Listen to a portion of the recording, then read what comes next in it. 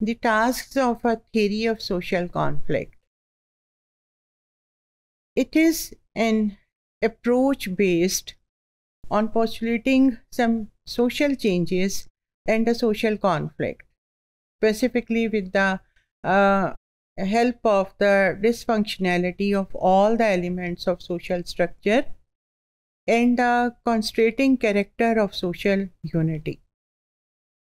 अगर हम वाज तौर पर अपने लिए, अपनी आसानी के लिए थेरी ऑफ़ सोशल कॉन्फ्लिक्ट को समझना चाहें और हम ये देखें कि बेसिकली इसका टास्क क्या है तो हमें इसको ऐसे समझ लेना चाहिए कि ये एक ऐसी अप्रोच है, ये एक ऐसा नज़रिया है जिसके अंदर ये बात बहुत वाज तरीके से बयान की गई है कि इसमें जो सोशल चेंज और सोशल कॉन्फ्लिक्ट का रिलेशनशिप है, उसकी डिस्कशन हमें मिल जाती है।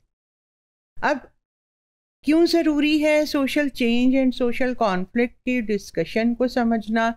क्योंकि जहाँ पर भी पूरी दुनिया के अंदर, किसी भी माशरे के अंदर सोशल कॉन्फ्लिक्ट और सोशल चेंज के दरमियान जब एक मरहला आता है, जहाँ डिसफंक्शनैलिटी आ जाती है कि लोग सोशल चेंज मांग रहे हैं, लेकिन due to the presence of social conflict system properly काम करने के काबिल नहीं रहता और इस डिसफंक्शनैलिटी की बुनियाद की वजह से जो सोशल कॉन्फ्लिक्ट है वो और ज़्यादा राइज करता है।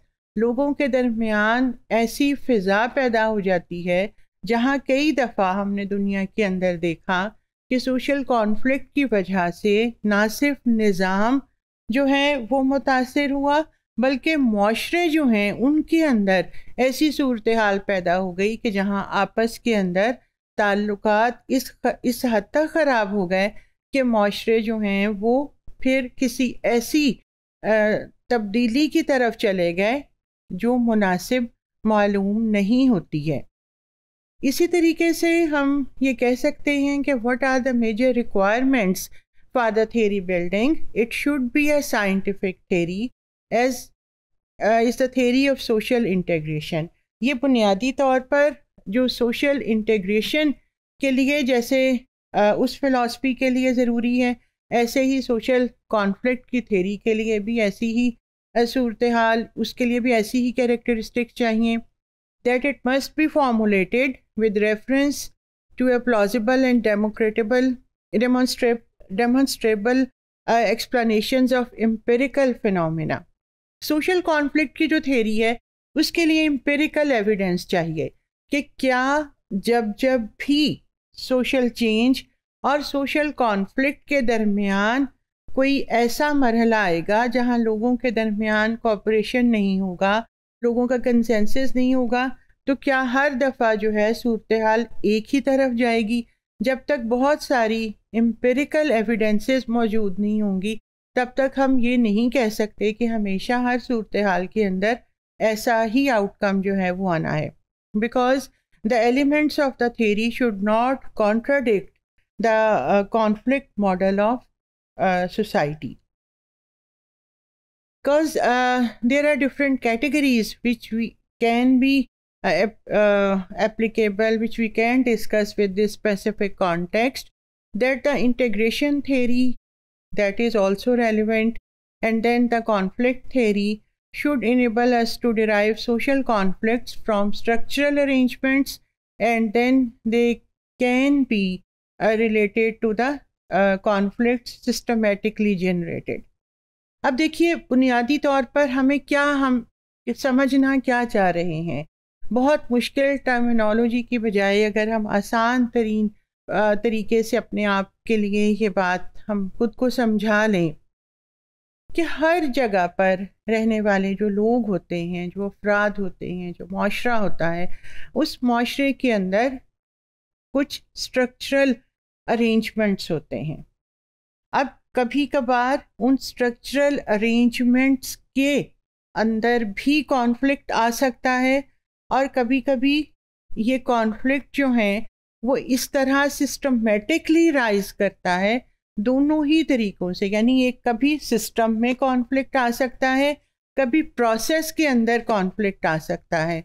तो अगर दोनों के दरमियान ऐसी सूरत हाल हो और कभी ये भी हो सकता है कि दोनों ही कंबाइन कर दें, यानी प्रोसेस और स्ट्रक्चर दोनों की वजह से जो है वो कॉन्फ्लिक्ट माशरे के अंदर पैदा हो जाए। तो अगर ऐसी सूरत हाल होगी तो फिर वो कॉन्फ्लिक्ट जो है, वो ज़्यादा उसकी इंटेंसिटी हो जाएगी। So there are some important question and with the help of these question we can understand this basic philosophy and its task of the theory of social conflict so number one question that how do conflicting groups arise from the structure of the society? अब किसी भी मुआशरे का एक structure है, जो बुनियादी तौर पर उस हर मुआशरा उस स्ट्रक्चर के अंदर ही काम कर रहा होता है। अथॉरिटी भी है अथॉरिटी को अप्लाई कर, करने वाला सिस्टम मौजूद है रूल्स रेगुलेशंस हैं। अब फिर कॉन्फ्लिक्ट कैसे राइज करता है? जब किसी माशरे के अंदर स्ट्रक्चर मौजूद है। Then what forms can the struggles among such groups assume अब जब माशरे के अंदर कॉन्फ्लिक्टिंग ग्रुप्स हैं, अब इन कॉन्फ्लिक्टिंग ग्रुप्स के अंदर किस तरीके से क्या चीज़ है जो इस्टेब्लिश करेगी कि वो एक दूसरे के साथ स्ट्रगल में इन्वॉल्व हो जाएँ? यानी अगर माशरे के अंदर मुख्तलिफ़ निज़ाम काम कर रहे हैं। मुशी निज़ाम है, अखलाकी निज़ाम है, एक सकाफत भी है, एक एजुकेशन है, एक हेल्थ है और सोसाइटी को ओवरऑल एक पूरा सिस्टम जो है वो ऑपरेट कर रहा है। फिर आपस में क्लैश कैसे पैदा होगा? बुनियादी तौर पर इस चीज़ को समझना है। So how does the conflict among such groups affect a change in the social structures अब जब कॉन्फ्लिक्ट राइज करता है तो फिर वो इन ग्रुप्स को कैसे इन्फ्लुएंस करेगा?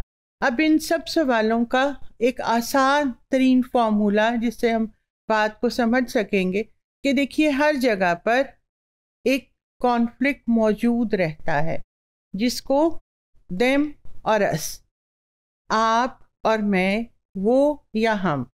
अगर हम इस बात को समझ लें कि हम में से हर कोई अपनी शनाख्त को कायम रखना चाहता है ऐसे ही जो दूसरा है, वो भी अपनी शनाख्त को कायम रखना चाहता है। उसके अपने मफादात हैं, हमारे अपने मफादात हैं। जहाँ जहाँ मफादात का टकराव होगा कॉन्फ्लिक्ट राइज करेगा। अब देखना यह है कि क्या सिस्टम के पास इतनी अहलियत है कि उस कॉन्फ्लिक्ट को सेटल डाउन कर दे और इन टाइम सेटल डाउन कर दे। अगर इन टाइम सेटल डाउन ना किया गया तो फिर वो कॉन्फ्लिक्ट जो हो सकता है इनफरादी हो, फिर वो इजतमाही में कन्वर्ट हो जाएगा। और इजतमाही में कन्वर्ट होते होते हो सकता है बहुत सारे ग्रुप्स को भी इन्वॉल्व कर ले। यानी मौशी मफादात के टकराव से शुरू होने वाला, फिर सियासी टकराव में भी बदल सकता है। मजहबी या एथनिक बेसिस पर होने वाला सियासी में कन्वर्ट हो सकता है। यानी जहाँ जहाँ मफादात होंगे अगर उन मफादात का तहफ़ करने का मेकनिज़म अवेलेबल नहीं है, और मेकनिज़म है भी, लेकिन वो अगर इन टाइम सेटल डाउन नहीं करता तो क्या चीज़ है? मेकनिज़म की अवेलेबिलिटी इंपॉर्टेंट है, और फिर उसके साथ साथ ये कि इन टाइम सोल्यूशन भी ज़रूरी है।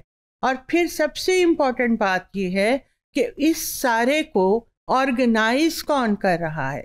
कौन है जिसके पास पावर है या अथॉरिटी है जो सारे त, इस इन तनाजुर को वाइंड अप करे और इन सब चीज़ों को लुक आफ्टर करे। तो प्रॉपर स्ट्रक्चर ज़रूरी है और स्ट्रक्चर के अंदर फंक्शनिंग उससे ज़्यादा अहम है।